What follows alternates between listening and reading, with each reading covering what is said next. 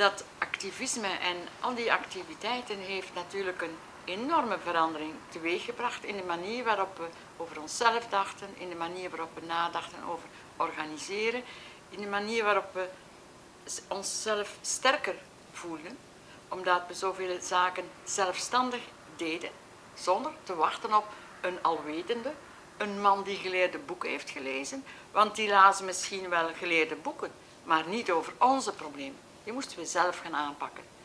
Abortus was een probleem dat al zo lang bestond. De werkloosheid van vrouwen werd zo algemeen als normaal beschouwd in tijden van crisis, dat wij moesten tegenargumenten opbouwen. En tegenargumenten opbouwen, dat betekende niet alleen vergaderen en daarover discussiëren, maar ook de cijfers van Eurostat gaan onderzoeken. Ook de studiediensten aanspreken van de vakbonden die gegevens hadden. Ook met vrouwen in de bedrijven praten. En al dat, die combinatie van studiewerk, vergaderingen, discussiegroepen hebben ons sterker gemaakt. We leerden artikelen schrijven in kranten. We leerden zelf krantjes maken. In Gent hadden we het blad De Grote Kuis van Dolmina. Heel leuk, die de redactievergaderingen. Dan hebben we met de FEMSOC-groep het blad Schoppen Vrouw gemaakt, waar we bijvoorbeeld ook over internationale gebeurtenissen studeerden, over de vrouwenvredesbeweging tegen de kernwapens in Engeland.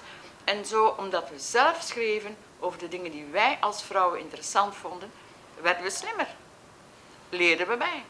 En kregen we ook het zelfvertrouwen om te gaan spreken in grote zalen, om tegen ministers in te gaan, om te durven betogingen aanvragen en dingen organiseren die je nog nooit in je leven had meegemaakt. En eigenlijk is dat de meest interessante ervaring uh, in die periode van activisme geweest. Plus, dat was plezierig. Dat was heel leuk. Wij hadden met Dolomina bijvoorbeeld in Gent elke woensdagavond vergadering van 8 tot 12. Of tot 11. En waarom was dat op woensdag? Omdat het op woensdag toen nog op tv voetbal was. En alleen op woensdag. Dus de mama konden thuis op de kinderen letten. Nu, zo'n dingen doen, dat is echt leuk. Want we vonden het, in het begin hadden we gemengde vergaderingen. Er waren mannen die bij ons meekwamen en dat sympathiek vonden. Maar uiteindelijk bleven die mannen weg. Eigenlijk ging het hen niet zo direct aan als het ons aanging.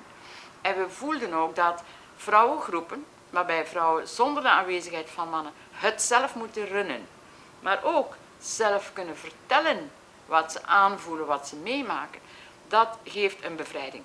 Want dat betekent dat je niet alleen staat. Dat betekent als er bijvoorbeeld een probleem is van geweld, dat je daar kan over praten in die groep zonder schaamtegevoel. En zonder dat er beschuldigend wordt gereageerd van die man die jou slaat, jij hebt misschien ook iets fout gedaan. Wat je in gemengde gesprekken vaak hebt, dat hadden we niet. Dus de vrouwengroepen hebben ons leren zelf actief zijn, leren durven en leren solidair zijn. En dat is voor al die vrouwen van mijn generatie, denk ik, een blijvende verworvenheid.